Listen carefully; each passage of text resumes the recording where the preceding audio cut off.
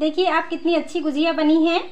देखिए, हम आपको तोड़ कर दिखा रहे हैं। ये देखिए, कितनी अच्छी गुजिया बनकर तैयार हुई है। ये गुजिया टेस्टी होने के साथ साथ बहुत हेल्दी भी है, क्योंकि हमने इसे गेहूँ के आटे से बनाया है।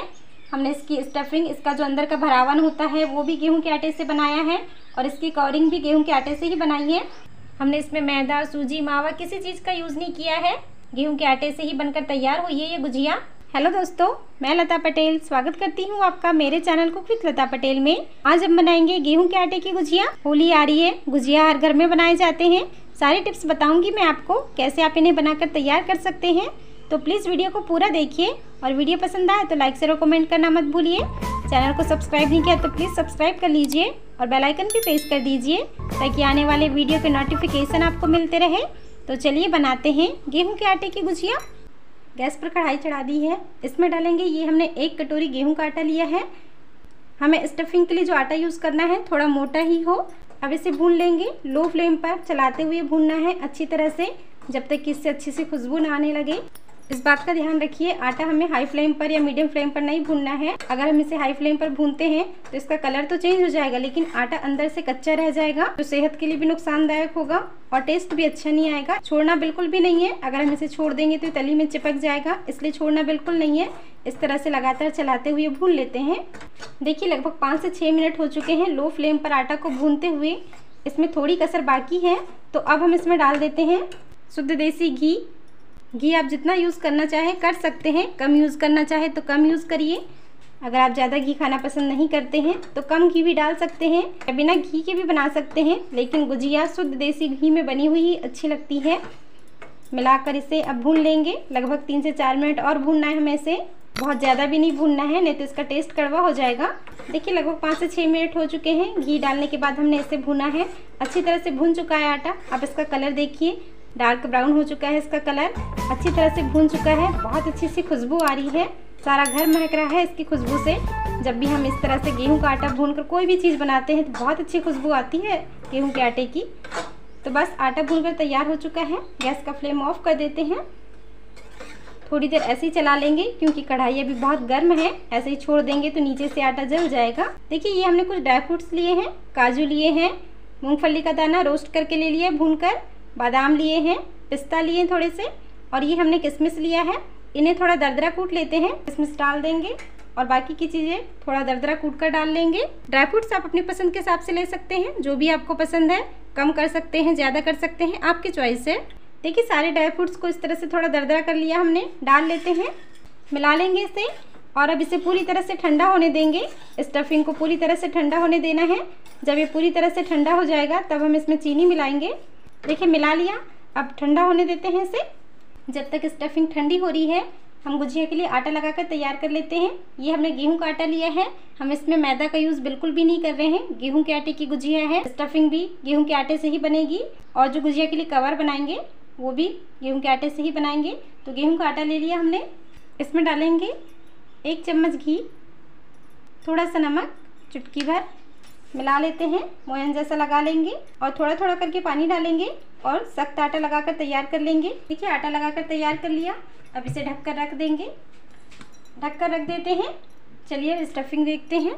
देखिए, थोड़ा ठंडा हो चुका है, गर्माहट नहीं है अब इसमें। तो अब हम इसमें डालेंगे, ये हमने चीनी लिया है। हमने इस कटोरी से एक कटोरी गेहूँ का आटा लिया था। तो पौना कटोरी चीनी ले रहे हैं। चीनी आप अपने टेस्ट के हिसाब से, जैसा भी आप मीठा खाना पसंद करते हैं, डाल सकते हैं। कम या ज़्यादा। ये हमने लौंग और इलायची का पाउडर लिया है, इसे डाल लेंगे।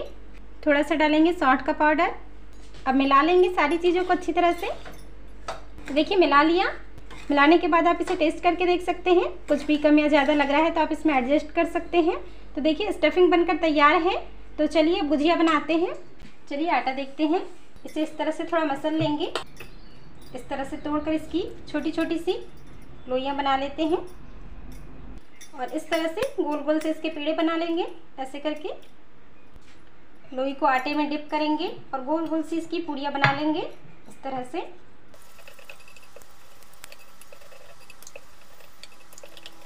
देखिए, इस तरह से ऐसी बना लेना है। रख लेंगे और इसी तरह से बाकी की भी सीट बनाकर तैयार कर लेते हैं। देखिए, इतनी सीट बनाकर तैयार कर ली हमने। सांचा ले लिया हमने। हमने इसके किनारों पर थोड़ा आटा लगा दिया है ताकि चिपके नहीं। सीट लेंगे, इस तरह से रखेंगे इस पर। यहाँ से स्टफिंग लेंगे। इस तरह से डालेंगे इसमें।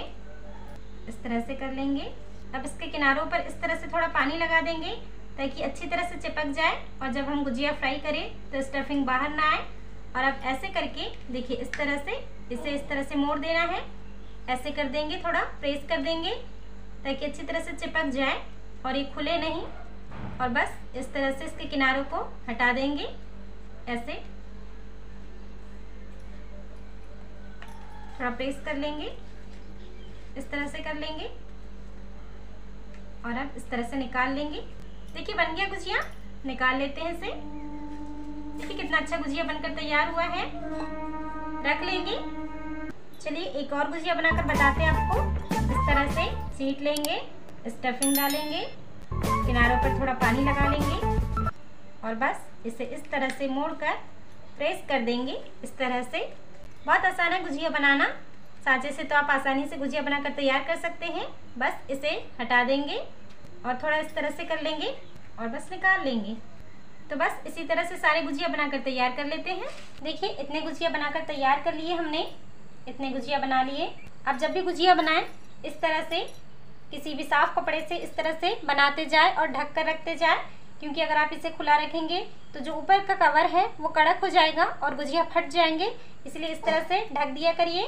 तो गुजिया बनकर तैयार है। इतने गुजिया बना लिए हैं। चलिए इन्हें फ्राई करते हैं। देखिए, तेल गर्म होने रख दिया था। गुजिया डालकर फ्राई कर लेंगे।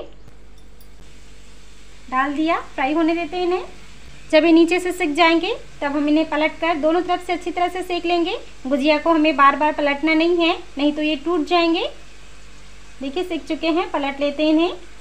बहुत हल्के हाथों से, क्योंकि गुजिया बहुत ही नाजुक होते हैं, फट जाते हैं ये। इस तरह से पलट लेते हैं। देखिए, कितने अच्छे गुजिया सिक कर तैयार हो रहे हैं। तेल में जाने के बाद फटे नहीं हैं, स्टफिंग बाहर नहीं आई है। देखिए, सिक चुके हैं, बहुत ज़्यादा समय नहीं लगता गुजिया को सिकने में। निकाल लेते हैं इन्हें। देखिए कितने अच्छे गुजिया बनकर तैयार हुए हैं। गेहूँ के आटे की गुजिया। तो बस निकाल लेते हैं और बाकी के गुजिया भी इसी तरह से फ्राई कर लेंगे।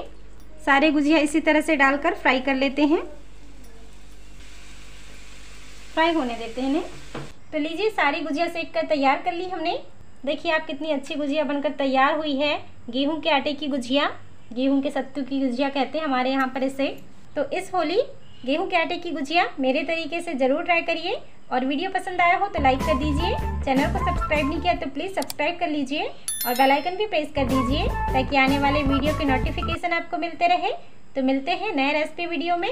तब तक के लिए बाय थैंक्स फॉर वॉचिंग